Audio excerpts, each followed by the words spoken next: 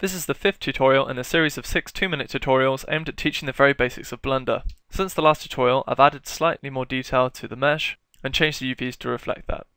We're now going to construct the crate. If we go to the front viewpoint, we can see the pivot is not in the center of the object. To return to the center, you can press Ctrl Shift Alt C, click on Origin to Center of Mass. Then, we can rotate it from this pivot point by pressing down R and holding down Ctrl to limit it to 4.5 degree graduations. I want to then line up the center with the grid line in the two view sides, pressing Z to go transparent. Because I'm going to use an array modifier to construct the crate around another object, we want to return the 3D cursor to the center as well. You can do this by pressing Shift S and click cursor to center. I can then move the pivot to the 3D point by pressing Ctrl Shift Alt C and origin to 3D cursor. I'm then going to add an array modifier and we need to not have a relative offset, but rather an object offset to create it in this way. So we're going to create a plain axis empty by pressing Shift A, empty plain axis.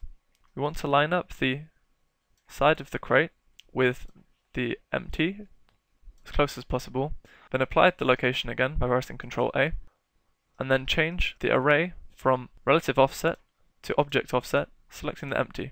We actually want to have opposing sides for the way that I'm going to create the crate. So if we select the empty and rotate it, using control, we can then set the second side of the crate in place. Now we have the two sides, we actually don't need the array modifier anymore.